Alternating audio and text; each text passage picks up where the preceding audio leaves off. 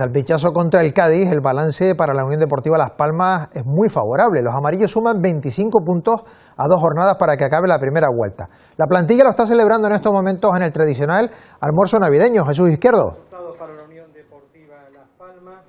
que nos traiga un y con su presidente, Miguel Ángel Ramírez, a la cabeza y con muchísima representación del club, tanto el cuerpo técnico como algunos de sus jugadores están en esta tradicional comida navideña en la que ha hablado con nosotros el propio presidente Miguel Ángel Ramírez, ha dicho que ha sido un año espectacular, que está muy contento como se ha desarrollado este año 2023, que en su opinión es el mejor año que ha hecho el club con él como presidente y además también nos ha dado algunas pinceladas sobre el mercado de fichajes. Por ejemplo, ha dicho que no va a venir ningún futbolista. También hemos hablado con García Pimienta y el entrenador también ha hecho un balance muy positivo de lo que ha sido este 2023 en los que como entrenador ha conseguido el ascenso con la Unión Deportiva Las Palmas a Primera División y además tiene al equipo con, en una posición muy muy cómoda en la tabla clasificatoria. Quería por un lado eh, Posiblemente este año no hagan falta los 40 puntos, pero nosotros sí que lo tenemos como meta, conseguir esos 40 puntos y a partir de ahí si queda tiempo, si eh, hay partidos suficientes para luchar por algo mayor, pues que nadie dude que lo haremos. Las etapas se acaban y la etapa de Jonathan Viera se ha acabado y lo único que le deseamos es toda la suerte del mundo. Yo me quedo con, el hecho histórico del ascenso a Primera División. Eh, que el equipo solamente ha perdido dos partidos en el Gran Canaria y eso yo creo que de cara a la afición es, es muy bonito y bueno, eh, el ascenso más eh, los 25 puntos que llevamos en esta temporada en Primera División, yo creo que es para estar muy orgullosos. Más de 9.000 espectadores asistieron en directo a la visita del Fútbol Club Barcelona de Tenerife. Derrota en el césped, pero victoria en las gradas, donde la afición del Costa Deje volvió a arropar a su equipo batiendo un nuevo registro de público en el Heliodoro. La afición tinerfeña no defraudó en el choque entre el Costa de y el Barcelona en el Heliodoro, donde se batió el récord de asistencia en un partido de fútbol femenino en Canarias. Un ambiente... Precioso, que no me imaginaba, pero precioso el ambiente. de 10. Y es que los motivos para acudir al recinto capitalino sobraban. Venía uno de los mejores equipos de Europa, el choque tenía un marcado carácter solidario y además ambos conjuntos... Juegan muy bien y da gusto venir a verlos.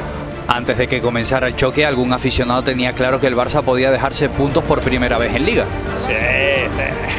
Yo también soy un poco culé, pero pero yo creo que sí, que esta vez se va a poder. Pero las blaugranas se pusieron con dos tantos en la segunda mitad. El primero de ellos desde los 11 metros por mediación de Graham en el minuto 48 y el segundo tanto llegó 14 minutos después con este tanto dentro del área de Welsh. A pesar de la derrota, las blanquiazules se marcharon ovacionadas de un Rodríguez López que volvía a ser el epicentro de la gran fiesta del fútbol femenino en el archipiélago.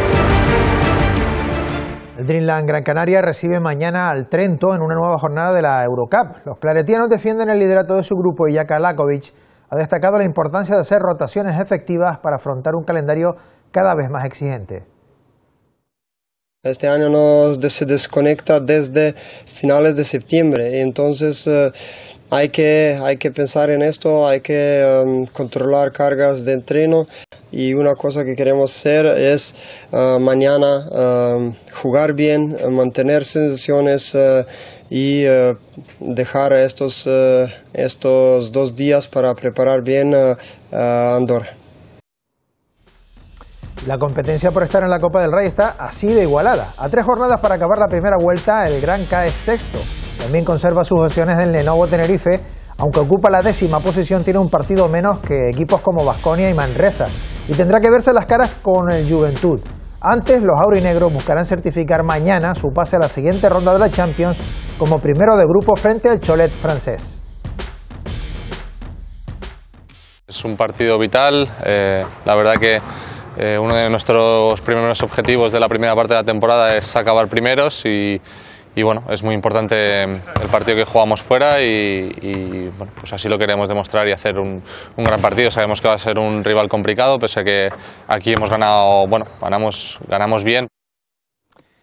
El Meeting de Orientación de Gran Canaria celebra este año su décima edición con más de 200 corredores inscritos. La prueba se celebrará del 27 al 31 de diciembre y consta de cuatro etapas que se desarrollarán en espacios naturales de los municipios de Tejeda y Santa Brígida. Vamos a hacer la primera carrera de orientación nocturna, creo que de todo el país, que se hace en un campo de golf.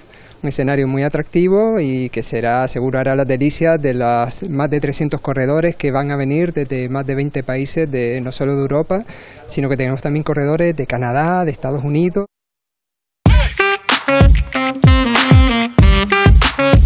La reventó en el paso Fred Olsen Express sigue ganando adeptos. La organización ha anunciado hoy que debido a la alta demanda tras el cierre de inscripciones, ampliará el cupo de participantes y sacará 300 nuevas plazas para su duodécima edición. A partir de las 8 y media de esta tarde, las nuevas plazas estarán disponibles en la plataforma de inscripción.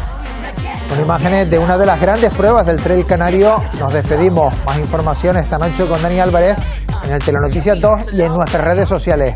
Que pasen buena tarde. You know me, work real hard, now we're ready, let's play. Ay, ay, hustle up, hustle up, yeah. Uh, ready, set, let's go.